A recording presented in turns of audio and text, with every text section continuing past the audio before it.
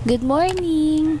Sa video pong ito, ipapakita ko lang sa inyo kung paano ko gawin yung paborito kong sausawan ng tinapay. Ang gamit ko po is yung Bear Brand powdered milk. So, pwede po kahit anong brand pero ito po kasi yung paborito ko. Lalagay lang po natin siya sa isang lalagyan. So, itong ginagawa ko pong ito, kasya na siya sa tatlo hanggang apat na pandesal.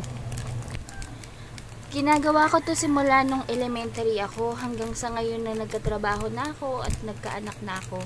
Yung anak ko, ganito na din yung ginagawa niya eh. So, namana niya sa akin. So, ayan. Lalagyan ko lang siya ng konting asukal. Konti lang para sakto lang yung tamis. Hindi nakakaumay. So, lalagyan ko siya ng tubig and then hahaluin.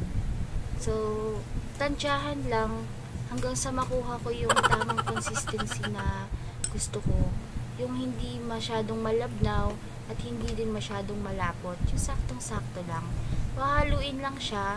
Kapag kulang pa sa tubig, dadagdagan ko lang yan ng paunti-unti.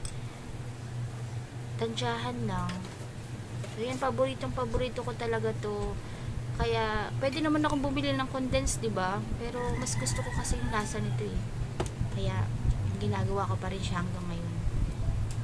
So, ayan, nahaluin lang siya hanggang sa matunaw yung powdered milk. Yan. So, yan. Kung makikita nyo, saktong-sakto na tong consistency na gusto ko. Hindi na ako maglalag, magdadagdag ng tubig. Yan. Tutunawin na lang yung powdered milk. Yan. Saktong-sakto na siya. So, yan. Pwede ko na siya- pwede ko nang isawsaw dyan yung aking pandesal. Sinasawsaw ko din dito yung mga tinapay or cracker na walang palaman.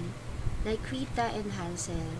So kung gusto nyo pong itry, try nyo lang po at kung magugustuhan nyo or hindi, comment down below. Salamat!